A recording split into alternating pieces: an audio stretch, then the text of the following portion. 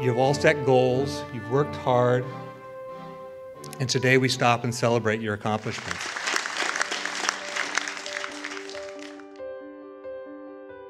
Many children, they grow up in a home with a white picket fence and they have a mom and a dad.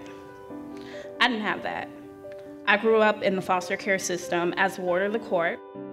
Today we are honored to have Jeremy Affeldt, relief pitcher for the San Francisco Giants, as our guest speaker. I want to tell you you're my heroes. And I really appreciate uh, you being here today to let these people honor you because you need to be honored. So I went to the Giants and I said, is there a way that I can get into the community to help fight for justice? I do the trafficking stuff within San Fran, but I, when I walk around, I see a lot of street kids and I don't understand you know, why, I want to know their stories, what are we doing to help them, do they have vision, do they, do they dream, what is, what is the issue here within these kids' lives? And so they introduced me to, to Larkin Street. My mom got locked up in 2011, so I had to sleep outside in the streets. For a whole week, I basically slept on a bus, slept outside, or didn't sleep at all. And at that time, I was still in school, so basically I had to like handle school and also being homeless. When I was 18, my mom found out that I was gay. She told me that she didn't have a gay son, and I really was flabbergasted at that, you know, the fact that, you know, here's someone that's supposed to love me and says that I can't live here if I am the way I am. And, you know, so I moved to San Francisco and not knowing where I would live was stuck on the street.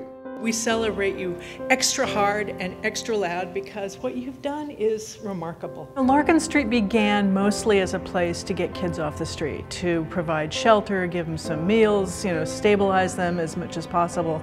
Over the years, what we've realized is that, that to really help, to really sort of keep a next generation of homeless adults from being created, that we have to do more. We have to prepare them for a life and we have to give them some of the, the legs to stand on that any family would. I want them to know that they have a home they can be loved in.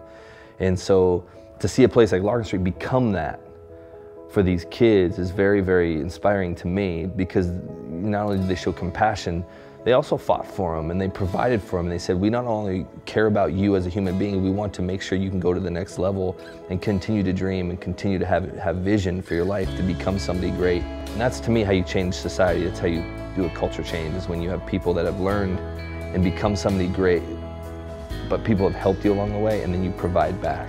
You know, when we go through tough times, you can either be the victim or you can be victorious. It's your place to choose victory. I want to be an example, a light in the dark world. The more people I can reach out to, the more that I can reach out even further.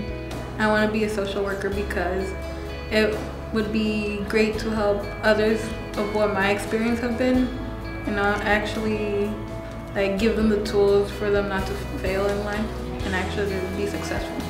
And you deserve to be noticed. And you are being noticed. And I hope you continue to be noticed because of the path that you guys have chosen to not be victims. Whenever you sit in your rooms at night and you feel like nobody, remember this day. You've inspired hundreds of people here. Have you inspired me? It made me feel very inspired to, to know that our choices mean something, that our inspirations and our hopes and dreams mean something. That to me is priceless.